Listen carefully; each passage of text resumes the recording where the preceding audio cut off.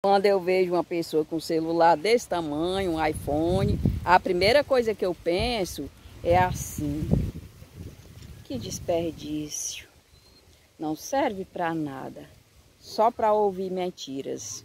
E aí é só o que a gente vê. Eu cheguei na casa de uma mulher e ela, que ela não entende de celular, olha aí, como até gente que não sabe mexer em celular quer, quer saber, quer assistir coisa, música gospel. Eu cheguei na casa da mulher que ela pediu para mim é, configurar o celular dela e aí ela, ela pediu para mim para mim botar nos vídeos de música gospel.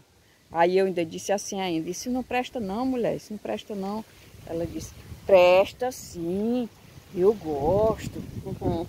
A mulher queria que eu botasse na música gospel. Então é assim, quando eu olho para uma pessoa, uma pessoa que às vezes nem sabe mexer celular bem, né? Tá aprendendo agora, celularzão assim, bonitão, né? Bom.